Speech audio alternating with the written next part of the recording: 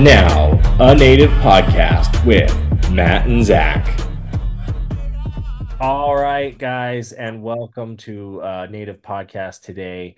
Uh, we have an interview uh, with Bryan Begay. This is a, a, connection between Matt. This is one of your good friends. So I don't know if you want to go ahead and introduce him or let Bryan take the stage. Uh, I, I, don't know how that I works. Think, uh, I think I'll let Bryan uh, just kind of introduce himself and and uh, who he is and and some details about himself. Hi, uh, my name is Bryan Begay. Um, I I grew up in Kingman, Arizona. I'm a part of the Navajo Nation or Diné. Um, we've always been taught to introduce ourselves Navajo, so I, will just do that for you. Um, Yache, She Bryan Begay Yenishye, Tatnasan initially, Tutsuni Bashashin, Seviskish Dash Che, Tachibi Dashanella. That's just me putting out there my maternal, paternal, and my grandparents' clans out there. So If anybody's wondering, um, I've met a lot of people that way. They're like, "Oh, you're my relative," and um, right, yeah, it's pretty interesting. I think. Um, don't quote me on what clan means. I know there's like Tanglewater and Big Water and stuff, different clans or different areas, but right, you know yours yeah. and what's what's you. It's not like mm-hmm. Matt. Matt uses Bumble to find his family. no, uh, real quick, since we're doing this kind of introduction, I'll let Zach kind of introduce himself too, because you're a guest and and uh, but I'm Oglala Lakota, and Bryan probably knows that. And uh, I actually met a cousin of mine in South Dakota on Bumble. So for the viewers out there, when you're traveling in your home tribal lands, uh, be real careful about who you talk with. You might be a cousin. Right. No, exactly. No, it's, it's that's that's funny. Actually, it was funny that we had that experience with Matt. But um no, I I'm Little Shell Blackfoot here from Montana. Um just so you're you're aware. Um our viewers are aware, you know, if you're tuning into this episode for the first time. Um me and Matt have you know, we met at Oregon State. I, I think that's where he met you as well, right? You were going to school at Oregon State as well. I don't I don't think our paths crossed. Uh, probably. I don't. I don't think it did. Yeah, we met in Oregon State. I went to OSU from 2018 to 2021. Oh, okay. Yeah, I was 2013 to 2015 was when I was there. Mm. Yeah. Yeah, we actually started like um, it was kind of like a graduate like study hall type thing at the long in the native longhouse, and yeah, and it was I, I think it was through your roommate Bryan that I like met you. Yeah. Uh, and and then we just we just kind of I don't know from there, and then Bobby met my or he met Bryan met my roommate Bobby, and, and like we just kind of ended up you know kind of doing things together outdoors and had a lot of fun. Hanging out. Yeah, I was um, unhoused for a while, so I couch surfed at their place for about a month. Oh wow! Yeah, yeah. Bryan had a corner living room chair with like a TV stand tray. That was his little home for a minute. that was yeah. Corvallis though. Like Mark had that one where he was in like he was in like a closet, like in like you'd open up the pantry in the like this was like yeah, but it was weird because it had a closet in there, so it was like labeled a bedroom on the like listing, but it was like basically the food pantry. That's how big it was, and that was his room. And then someone had like a garage. Yeah, Corval Cor- Corvegas is rough. Um, but no, I mean that that it's still kind of cool. Corvallis. I mean, I like it. It was a cool college town. Don't get me wrong. But um, so that you went to school there. I know you you went and did uh you did did education elsewhere as well. Um, what uh yeah what what inspired you? What got you into it? What kind of what kind of set you down this path? I guess. Yeah. Um, I'd have to go all the way back to high school for that. Go for it. Go for it. Yeah, I uh went to school in Kingman High School. I grew up in Kingman, Arizona my whole life. Um, the reason why my family set down roots here was my dad worked for the Bureau of Indian Affairs as okay. like a rangeland manager, resource manager down in Valentine, Arizona. Kingman, Arizona was the closest um, area, I guess, ideal for raising a family. And he worked with the Havasupai and the Hualapai tribes Oh, cool. Um, so I grew up around this area and just taught me how to. He, he liked the outdoors and the resource himself. Um, Yeah. took me out fishing, hiking. Some of my earliest memories, I remember being that in outdoors and enjoying it. And I remember the local office of the Bureau of Land Management came to Kingman High School and talked to us about a career in natural resources. And already I'd been kind of thinking about what I was going to do in my future. And I was thinking, I remember I was a child and I wanted to become a marine biologist. Okay. And then that warped into me becoming maybe potentially thinking about hydrology or becoming a hydrologist. And I think my sophomore year of high school. But then when they came on, they started talking about cool stuff they're doing. I wanted to do that. And I started looking at colleges and stuff. And I really like Flagstaff, Arizona. So I looked at their programs and forestry seemed like it would be the ticket for me.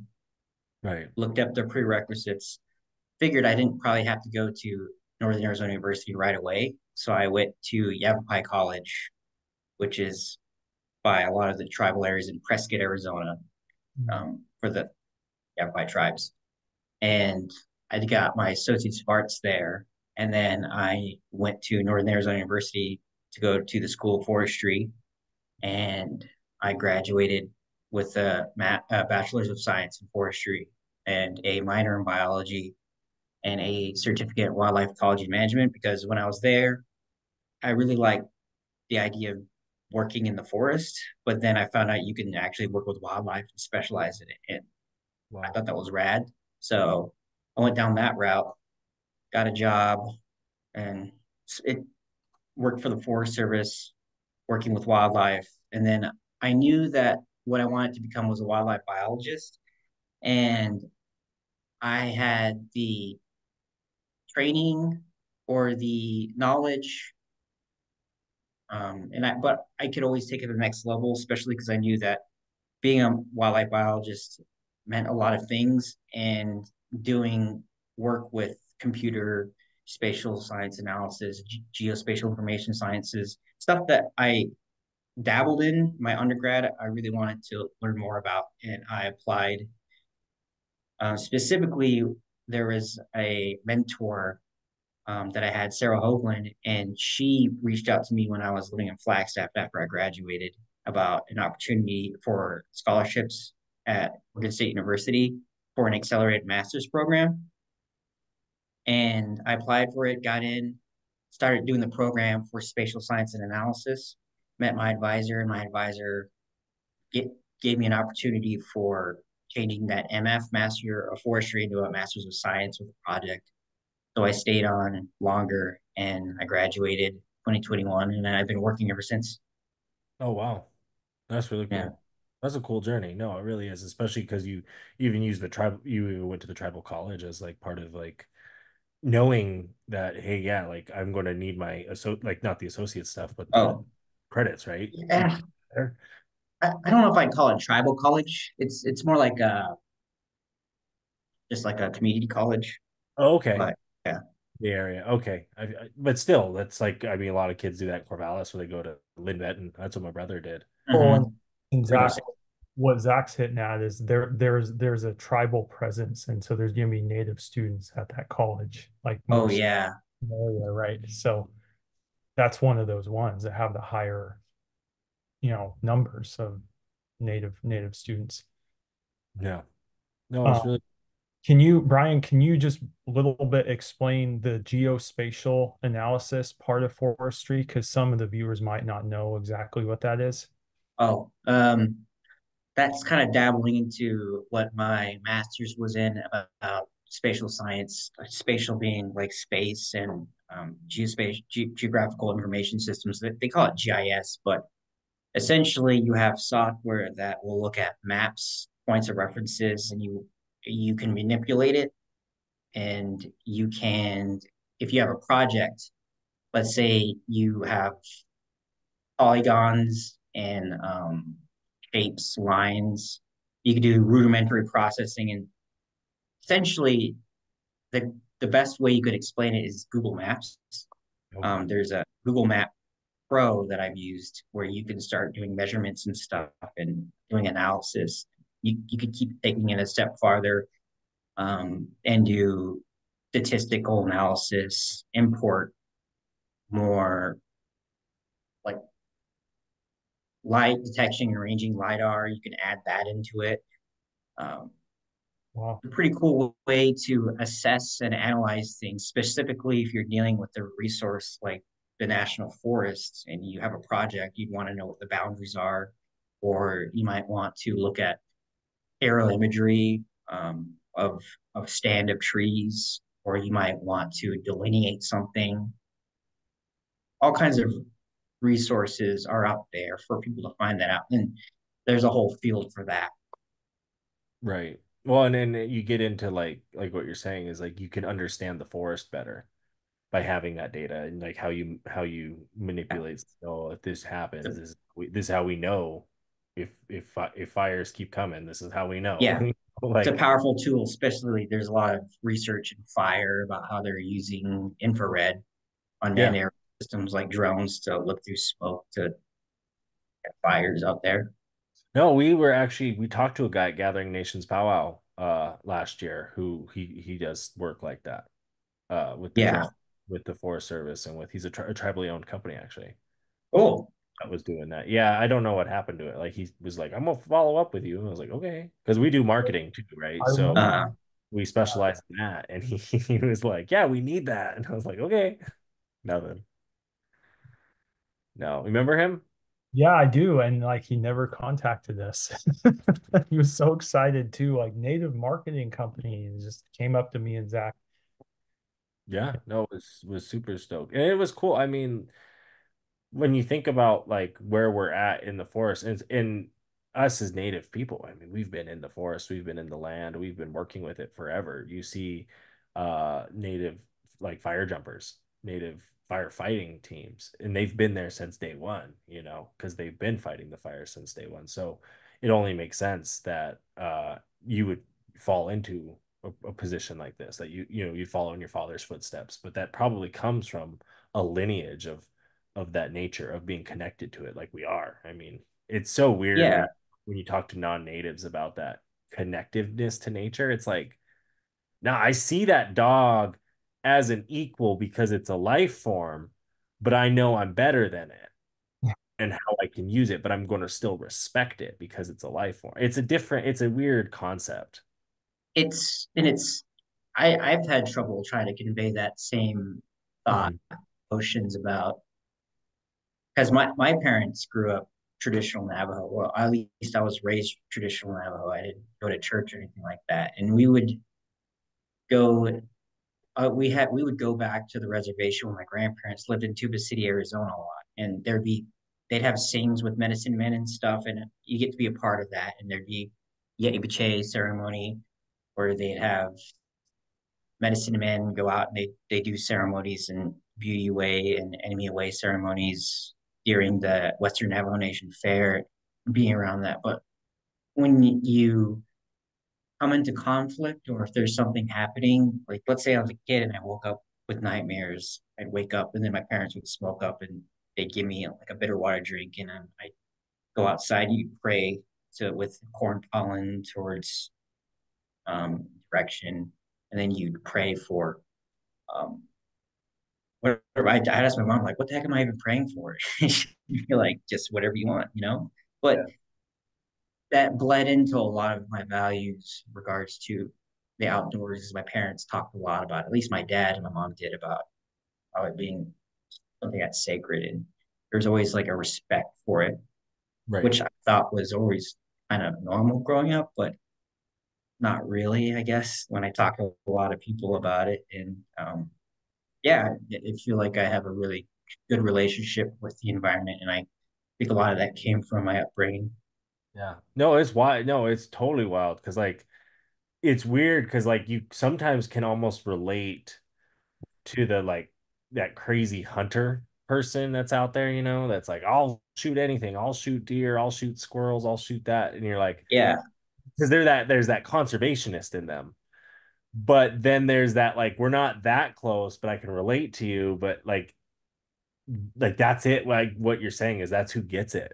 Like in my opinion, when you have those conversations, that's the only people I've ever really have kind of understood that connectedness, the understanding that that we're all the beings are connected and and we've been that way. And other cultures it's not that way. So like yeah growing up in it like i grew up i grew up in Yeah. a Catholic family. We went to catholic i went to catholic school my whole life. So Mhm. definitely it's a interesting time to do to do all that right? Where where you're like I'm native. I'm being taught by my family I'm native, but I'm going to this school and I'm being taught this, you're being taught these histories. You know, the land in the West was just given to the, you know, basically white folk. And like that that didn't happen.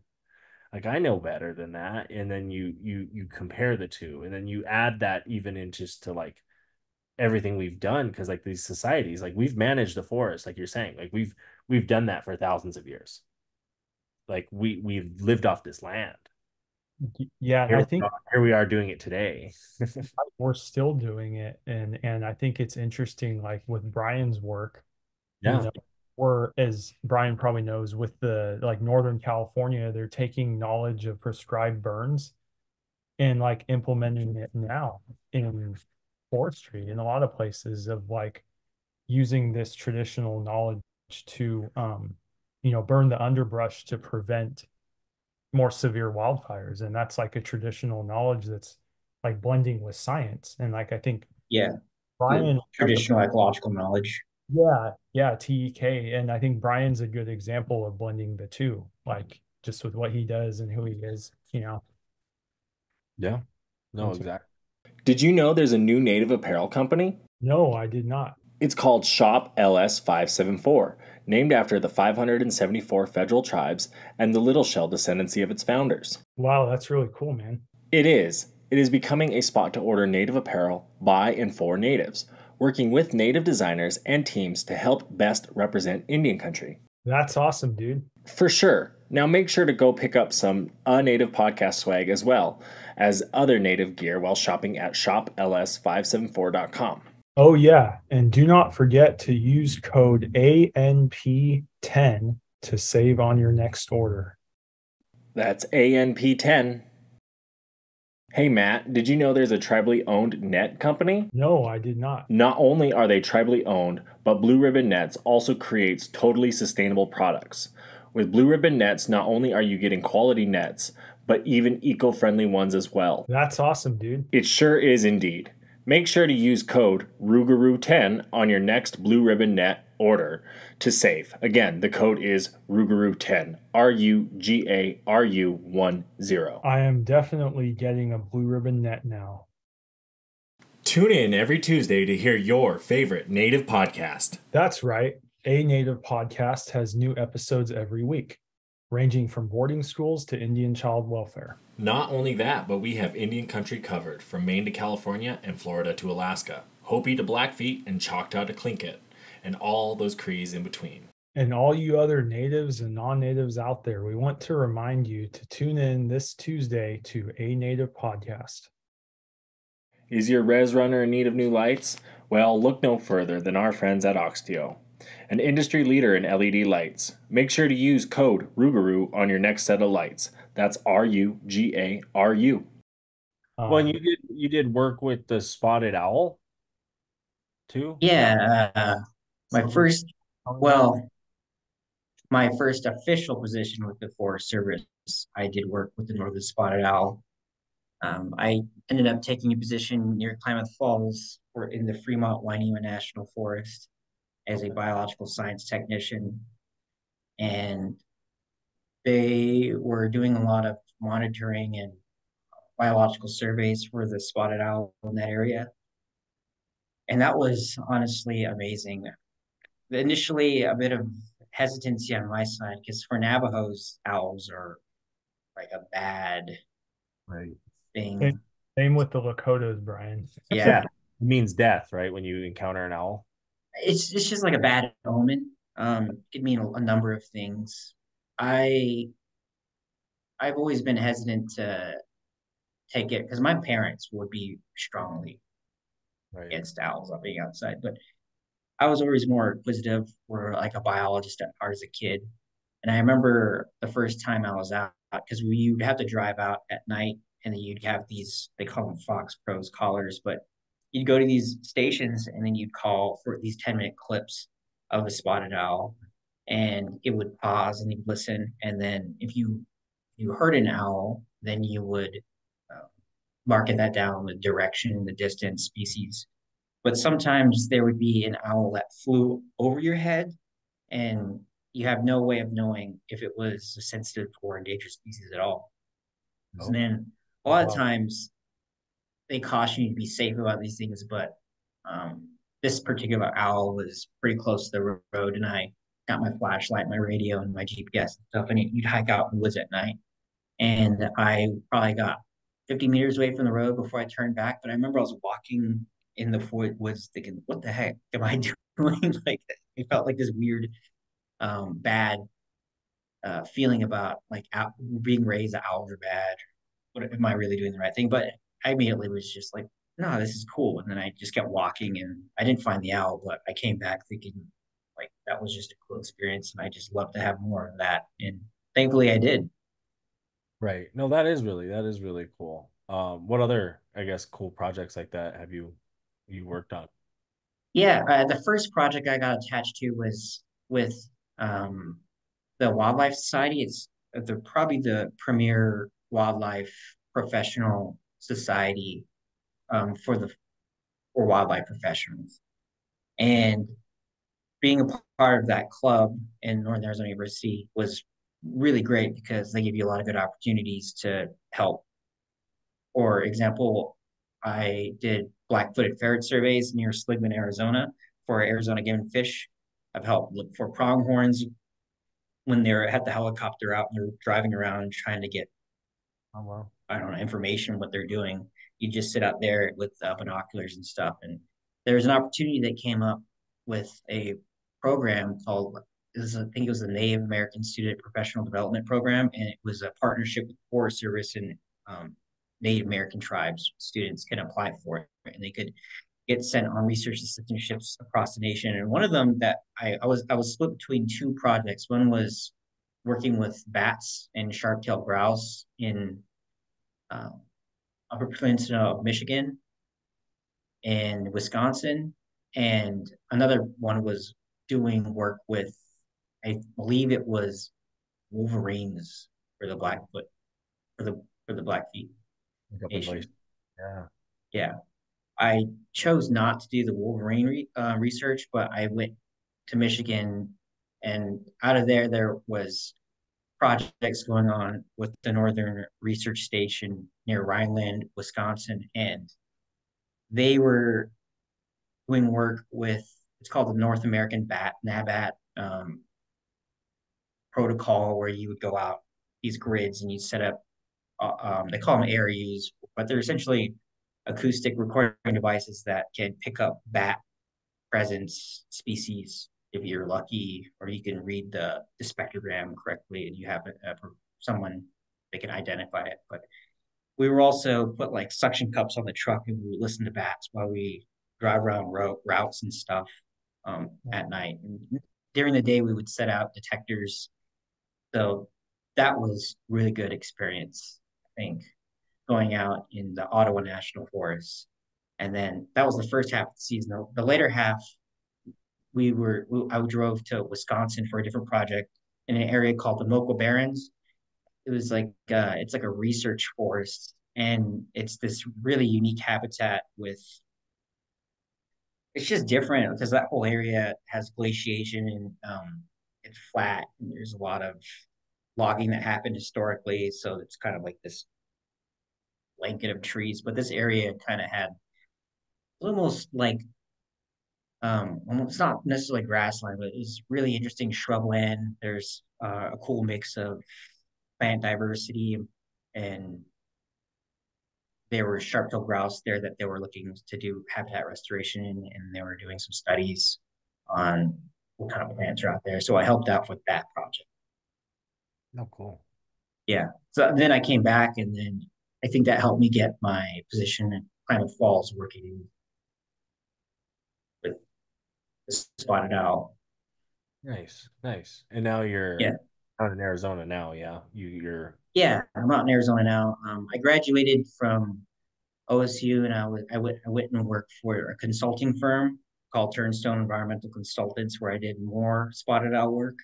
This is a private firm, and I worked in Southern Oregon um, near near Medford a lot, and I worked primarily on, on private timber company lands and Bureau of Land Management land. And then there was an opportunity for me to work with marbled murrelets. It's an it's an endangered, um, threatened. Uh, I believe it's threatened right now. Um, one of the spotted owls for sure endangered. I mean, there's like the Endangered Species Act that happens, and you have different listings for animals, but it, they're uh, a, a shorebird that will um, come in when they're breeding, mainly around June to August, and they primarily nest on old growth forests, and old growth forests are in short supply in the Pacific Northwest. So, for one, they once they're out on the ocean, they're very vulnerable to fishing nets, and then they only have one, one probably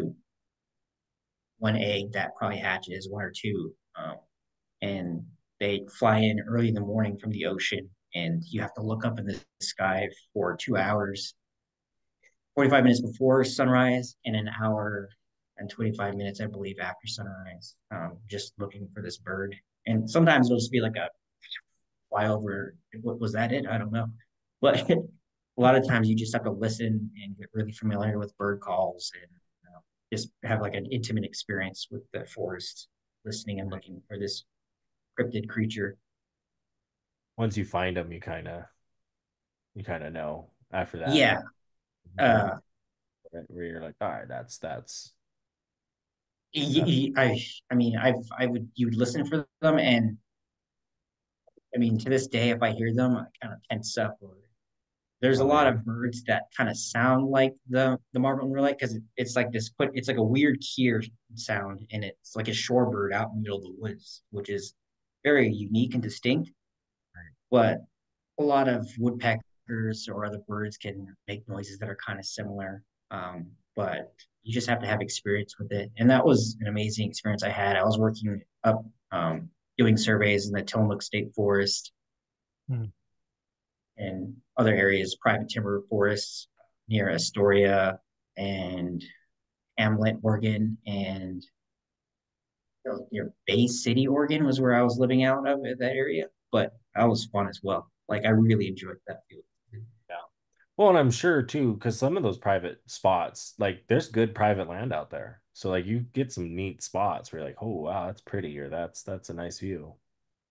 Yeah, and um, there's a lot of timber company land out there. Um, you know that they're not, they're trying to make money, and there's been a lot of stories from coworkers about how they heard a bird, but just because you hear a bird doesn't mean that you can establish that they're actually nesting there, um, that they're occupying that area. And sometimes they you just can't find the bird, and they'll come back the next year and it'll be logged. So stuff like that happens. Um, Don't care. Yeah. Yeah, Bryan, I didn't I didn't realize you'd work done all that other work in the Great Lakes region and some of these other like and all over Oregon. Really, you were in like all regions of Oregon at one yeah. time. You also, if I remember correctly, worked in Siuslaw Forest and then Yeah, I I worked the longest in the Siuslaw National Forest. I got a position at the Pacific Northwest Northwest Research Station where they're doing the biggest acoustic project in the world where they have these acoustic detectors. Um, they call them ARUs, but they're it means autonomous recording unit. And they set they put them out all the way from California, Oregon, and Washington, and they will listen passively to monitor for species of interest. And there's northern spotted owl all over the this matrix of land, and it, it, it there's some controversy with when callback surveys or what I told you about because you get the caller out and you, for one you're agitating the bird. You might pull off a nest. And there's another I guess invasive species called the barred owl that is really taking over the habitat of the northern spotted owl. Mainly they're endemic to eastern side, but they've came over to the west and they are a more they're generalist species that can they're bigger, they can eat more things, and they're just out competing the northern spotted owl that mainly forages on um, red tree voles and flying squirrels, and um, they're just not as aggressive. And when you make that call out in the woods, barred owls will come and attack me, or they'll attack the recorder, swoop down at you. Um, and if there is a northern spotted owl that responds back to your calling, then that means that you're opening it up for aggressive behavior from uh, species that's competing with. It. And that led to researchers using this passive monitoring technique of putting recorders out there. Put them out during the day, which is nice because you don't at night, and then it records for at least six weeks. You pick it back up, and then you bring it back to the the lab, and you have validation people that will listen to the to the audio. And I thankfully got the opportunity to work over the winter with the validation crew.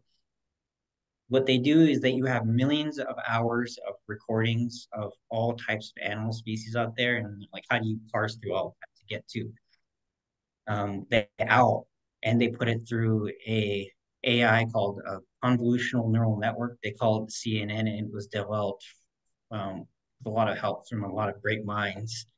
They put this recording information there and it's filtered into this black box. You couldn't ask me how it works because I don't know, but it goes through that and then it tells you with uh, a degree of certainty if this is like 99% spotted owl and it goes down, down, down, down, down. And a lot of times it, it could be um, dogs. I've had trucks out there that have like really heavy bass. And on the spectrogram where you're reading this on um, on the computer program that we use to look at them and validate it because you have to have humans to listen to it and then say for certain that that might be an out. You're looking right. for what cadence of the calls are, what the frequency is, um, investigating to see if it actually is because it'd be it's really important if you actually do get an owl that for certain you can say yeah we have an owl out there and I think it's coolest thing ever. Yeah, no, I mean it sounds fun. It definitely yeah you, like you're more like owls are kind of one of those to me species. Like I've seen them uh quite a few times in in passing. You know, me and Mark had an encounter. We were in Iceland last summer. There was one that just like flew in front of the car, which was like kind of wild at the time. Like the timing of it was wild. And then like just on different drives, I've seen some. Um, and then we had a great horned owl uh, fly into a window at our house. Wow. Uh, died because like it was like is big square window, and then like across the room, it was the kitchen. Across the room, there was another window, so I think it thought it you could like fly through. Yeah. Yes. Boom, and it, the thing was six feet long, the wings, and I mean they got a few of our cats over the years, so at least we got one, right? No, I'm just kidding. but we actually ended up putting it and giving it to my grandpa, who gave it to uh, he gave to someone for beating. Okay. Well, definitely he he got rid of it traditionally, I guess. You got rid of it the traditional way. yeah, I, that's uh, yeah. There's a there's there's a pair of great horned owls outside of my where I'm living at right now. So I think that's like the coolest thing ever. Oh, they're cool. They're really cool. Yeah. Like for me, it, it's just if there's an apex predator out there, that means there's enough, I guess, habitat, structure, forage, animals for it to even eat. Right. Um, it's just an indicator to me that the landscape can support owls. And I think it's really cool to just hear them out there and listen to them. But yeah, they'll kill cats and stuff. They, they get big and um, I think they're just fascinating. Yeah. No, they are really cool animals. I mean, we went hunting last year and had three of them sitting above our tent. And I mean, it wasn't fun then because you're trying to sleep. And like, I swear, oh, God, yeah. like they would just whoo, whoo, whoo right there and then like fly across mm-hmm and they go away for a little while and then they'd come back. So it wasn't like it wasn't like a cadence, you know. So it was so yeah. random that you just wake up every time. You're like, this freaking guy. But it was it's cool. It's always a cool time. Um I, I guess I got a couple questions here for you. One being um when you talk about this stuff and you, you kind of it sounds like you took like you got you found different programs for Native Americans, which is good. When I worked I worked for the BLM uh when I was going to MSU Billings and uh, I worked as a park ranger at Pompey's Pillar. They kind of they Oh, had a cool. program through uh, Salish Kootenai College, which is a tribal college here in Montana, through through uh, Pompey's Pillar, which is kind of it was really cool. Is where Clark signed his name on the Lewis and Clark Trail. Um, so I, I get what you're saying, and it's really cool that we have those programs. So I guess is there any advice you may have for anybody out there, kind of maybe trying to take a similar route, working with like the federal government in like these spaces in these sectors that you may have? Yeah, I, uh, I think for me, the, I, I can't stress enough to get in a professional uh, society. And when you're going to school, the cost for being a part of that is you get the student fee, and then you can. There's so many opportunities that can come up, and um, for me, that's pretty much how I got my foot in the door with working for a federal agency. And you're just around other people, and then they'll pass around job positions, or if there's people that have opportunities for them, like being Native American, that's just what you can expect to find, hopefully. And more than likely, you probably will. Um, I'm not a part of the society right now because the professional fees are really expensive, but uh, I'd like to join back again um, once I get a professional job. But yeah, get get into the society, volunteer a lot. Um, get out there, see if you even like it. I've heard stories about people who go out into the woods and I talk to them about it, and but it's really some of the most toughest work that tough work that I've ever done. Like people will go out into the woods on a field trade field day and then they'll quit because it's like I got to work in the rain 10, 12 hours a day. Yeah, you do. Like it's it's not for everybody, but um, if you really like it, you're passionate about the outdoors, you want to be outside. I think that it's that's all that really matters. Right. No, that's definitely, yeah. I remember we had a couple hundred and fifteen degree days at Pompey's Pillar where you're just out there. Well, I was laying on the rock like that. I was like, I hate Yeah, this. No, like, I mean, I didn't hate it. I loved, I like being outdoors. So I love the job. Don't get me wrong. But, you know, when it's that hot, you're like, I hate this. it's really it could be just just mentally and physically. And now we would like to take you to our segment, Music on a Native Podcast. This week, Randy Wood, Look How the Stars Shine for You.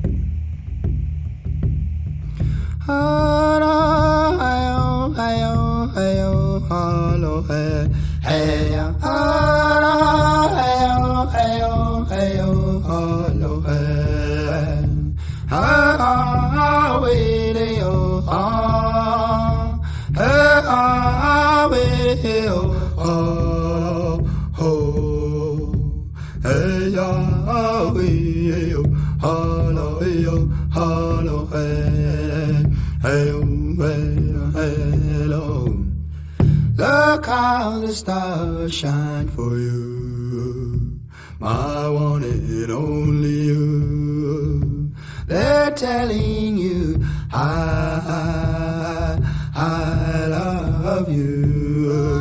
Hey, hey, hey. Oh, oh, oh, oh, oh, hey, hey, oh, oh,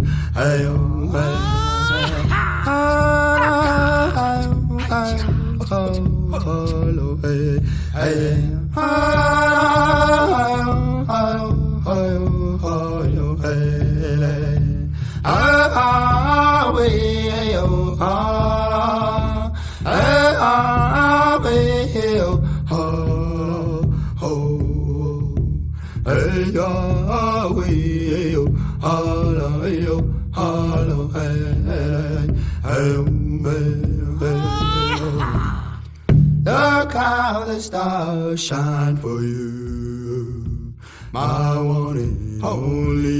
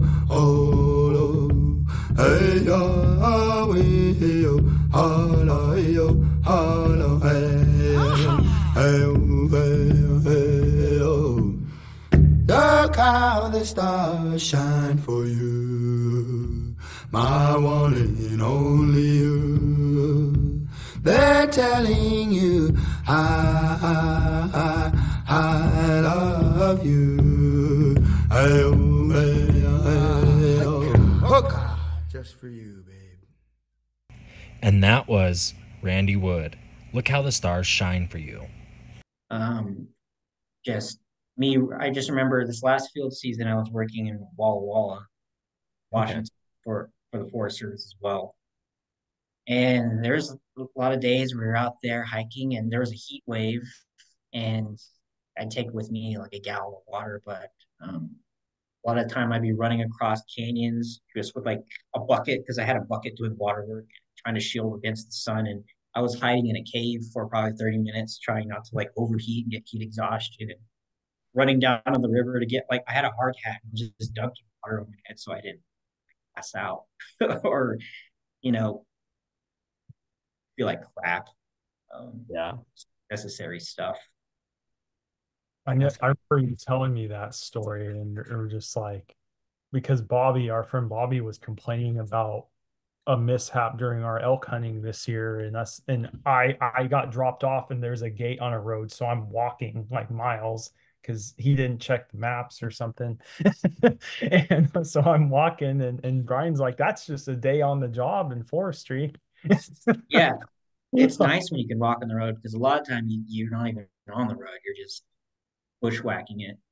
Um, a lot of times in the, I think the Siuslaw is probably the craziest area to work with because essentially rainforest and a lot of time I'm just crawling under the brush. Like I got to take my backpack off and I'm crawling underneath the ground and going over stuff.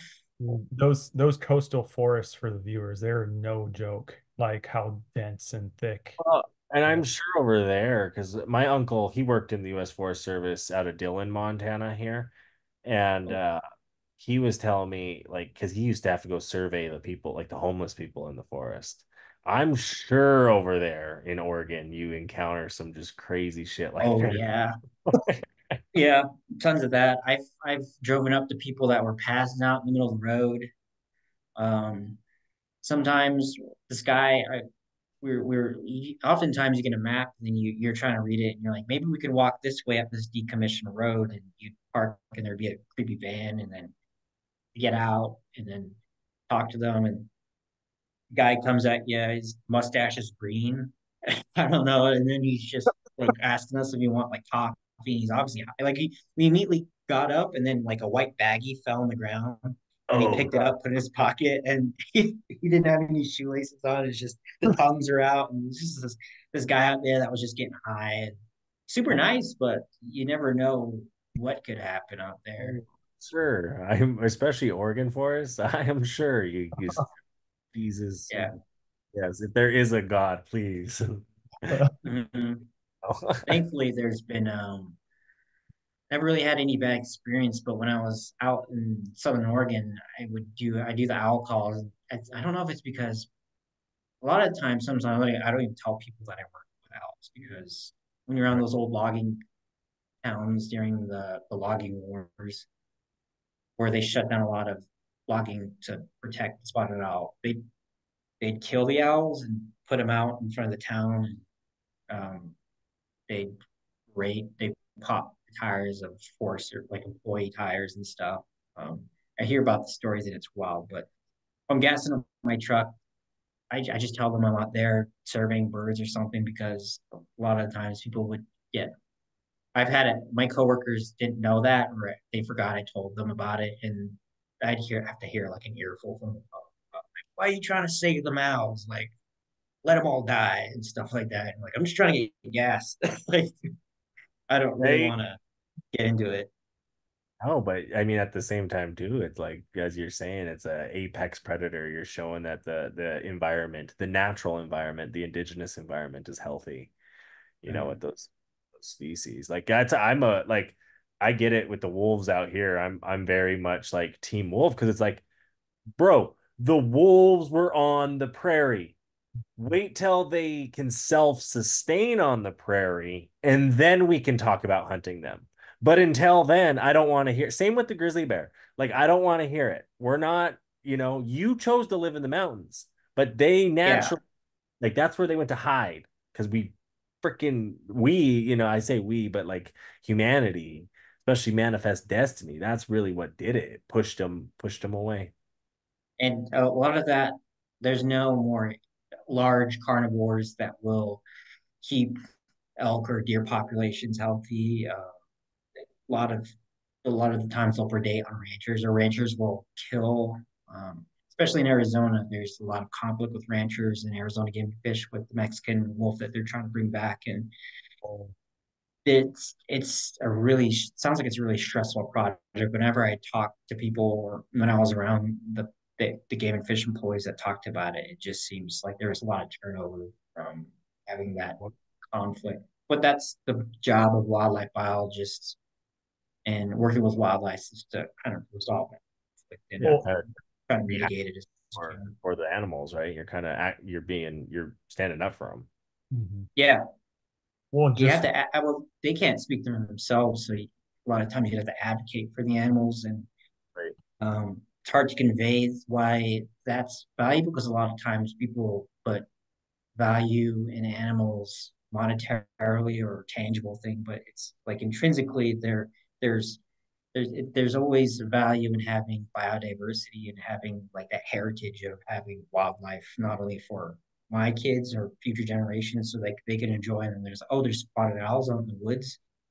There's we care enough about life to protect just small mammals, insects, plants. I think it's I think it's a very beautiful thing that are that we have that um, heritage and legacy that we're working towards. No, I agree. I, I like it. I like what how you kind of summed it up there because that's that's that's true. It's it's these animals they do so much. Um, we don't realize it, but really what like they they've adapted worldwide. I mean, you take like the pheasant, you take the sage grouse, you take certain birds like that, you take the the bison, the water buffalo, all that. How they're similar on these different continents, but they're different in their own ways because they adapted to the climates, they adapted to the other animals and surroundings, all that.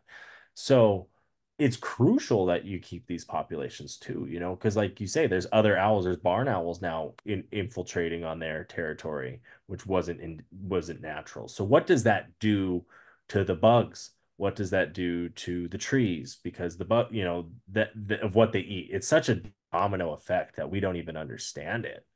That Yeah, it's wild. cascading. Yeah, but that's for another that's for another mm-hmm. podcast and another episode because we're kind of kind of coming at our time here. Mhm. Uh kind of we get into it, we kind of have our like last words. Uh Matt, I'm gonna do you have anything before that? I'll get into Bryan or Yeah, yeah, Bryan, I know uh you touched on Walla Walla a little bit, but did just kind of a last question. Did you work directly with any tribes or I think you said you did a fish project with the Umatilla, some Umatilla tribal members Oh yeah. Uh, well, um, I was I was attached to a project that I was hired for, where I was doing environmental DNA sampling, where I go out a lot of the the areas, rivers, streams, watersheds, and I would sample it with suction cup with a peristaltic pump, and they were looking for particulate part, uh, part particles of DNA or um, any information that that you can find specifically for Western ridge mussels and lamprey. And lamprey is a very important resource for the tribes down there. And the Forest Service knows that, and uh, the tribes definitely know that. And there probably was a partnership with the um, person that started that project. His name was Eric Merton. Um, he works out of Pendleton. But yeah, those species are on the sensitive list, and um, it was super cool going down those areas. It's tough work, but I mean, it's super uh, find out if there are lamprey in the area so that they could protect it and monitor that area and with the mussels as well. Um, and whenever I talk with about people always brought up the fact that it was um, just important cultural resource, um, something that should be protected. And I felt like uh, it was really important to do that. I liked it. Nice. No, I definitely I saw the lamprey Oregon. They've done quite a few stories on that, and then I saw NAYA actually has some lamprey at the the Native American Youth and Family Center there in Portland. Um, so yeah, that's kind of the podcast. Uh, we kind of wrap it up. We kind of give our guests uh kind of what we call our final words. You know, we kind of wrap it up here at the end. If there's anything you want to say, promote, talk about, do whatever, feel free. Um, this is your moment to shine. Um, if you have any advice, whatever, Matt sometimes likes to shout out, you know, his his baby mamas, his his energy. Um, You know I mean? So go I, I ahead. think, I'll leave it to you. yeah, uh, this is something that keeps popping up, I think, for a lot of wildlife professionals or people that work in outside, uh, but especially with like the TikTok shorts or YouTube shorts. But a lot of people will like feed wildlife or they'll they'll walk up to them and stuff. Like don't like I think a big part of it's like keeping wildlife wild. Right. It's important that wildlife know that um, we're they, then they become dependent on us. They start hanging around us, and that just that's not natural. That's not normal. And particularly with deer, they'd come up to me um, if I'm parked at an area that's popular, and they'll walk up to you. Someone could hit the deer. Millions, probably billions of dollars is probably lost um, every year. At least hundreds of millions from collisions with deer. And there's a whole problem with that, with overpopulation of deer from the lack of natural predators, particularly in the, the Midwest and eastern um, states of uh, the United States. But also, um, yeah, may- maybe also consider keeping your cat indoors if you have a cat. I know cats are one of the most prolific hunters out there, and they led to the extinction of multiple animal species, and they are they'll kill birds, small mammals, insects. So if you have a cat, consider keeping it indoors. It's it's good for the keep the cat inside and keep the dogs inside or in an area that they're that you can supervise them. Maybe put a bell on the cat if you don't want to keep it inside, so that maybe you might alert some birds. But yeah, there's a lot of information out there about how we could better protect wildlife resources. And I think just maybe keeping those things in mind when people look at that stuff online or if they're wondering if they should keep their cat outside, um, do some more research on it. Um, I've spoken my tidbit about it, but yeah. I think no, it's good to know. It's good education. I mean, even the bell on the cat is is something that's that's nice. My I know my cousin Jared, he's talked about doing like he wants to build a catio. He wants to do all this stuff. He's never he's got to paint the house. He's always like, we're always joking. Yeah. He's always like, I want to paint this blue. And I'm like, when we go see it, bud, you know. Yeah. it, but he's like, I want to build a catio, and uh, and uh, the because if you wanted to get a cat for the same reason, because he lives in uh, Paradise Valley, Montana, which is uh, Yeah. he he really wants you know he's like I don't want to affect the environment. He's like I don't want to pay plant fake grass. He goes I'm leaving the wild grass that my yard is. Yeah, the Peas, the flowers, all that exactly. yeah, and then plant plant native wildflowers and put out bat boxes and put out birdhouses. Right. Shazam. Oh, honestly, yeah. helpful.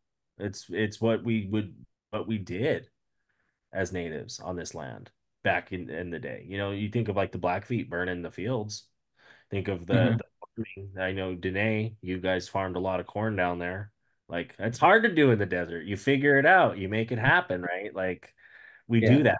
We we understand this environment, this natural environment, and it's really cool to talk to you, a wildlife biologist, on that today. Uh, Matt, any final words?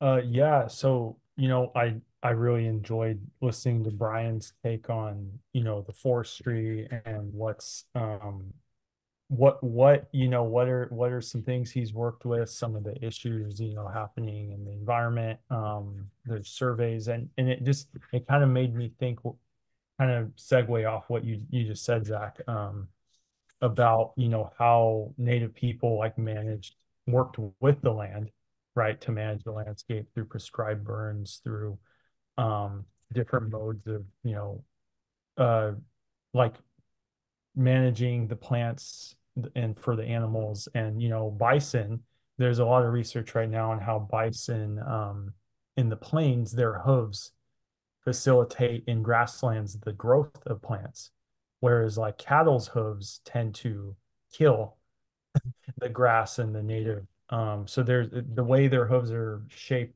they draw out the seeds and and and facilitate native plant growth. So it just made me think about that and just the importance of um, you know conservation and and bringing and revitalizing even some of these landscapes. So Yeah. No, no, that's awesome. That you see it. You see, I've I've heard the American Prairie Reserve talk about exactly what Matt was talking about uh on mine and Mark's podcast, Wandering Ways. We talked about interviewed them. Uh, Bryan, I want to thank you so much for being on, being our first interview. Uh, we want to thank our listeners as always for tuning in. Uh, this was a great one. Um, I'm glad that we had this conversation. It's it's exciting. We talked to a, a native wildlife biologist, so now you know. Now, if you're in the know, now you know. Yeah. Uh, no, I will all preface, not a wildlife biologist yet, but I'm in the works of. Getting that official title soon, hopefully. okay. Well, yeah. basically, in my mind, you know more. You're you've gone down the path. You've gotten the education. You've you've done what it takes. You're going to get the title. It sounds like it sounds like it's up there. Mhm. All over. So excited to see that happen. But definitely thank you for being on. Um, until next time. Bye bye. I know ballers, I know chiefs, I know riders from the east. I know educated natives down to picket in the streets. Middle fingers to police. Fuck you, we come in peace. I know red skin hippies giving me the creeps. I know beauty, I know beach, I know savages and freaks. And I know a couple cousins even bougier than me. No, no, no, ain't elite. Bougie native, yes indeed. Art exhibit to the club, and we roll it 20 deep. Copper on my neck, gold on my ring, feather on my hat, skin stitched chin. Hundred warriors on my back, they be drumming when I sing. Man, there ain't no way around it. I'm a, I'm a, I'm a, I'm a. A Native podcast is produced by G&G Advertising and Quartz Lake Productions.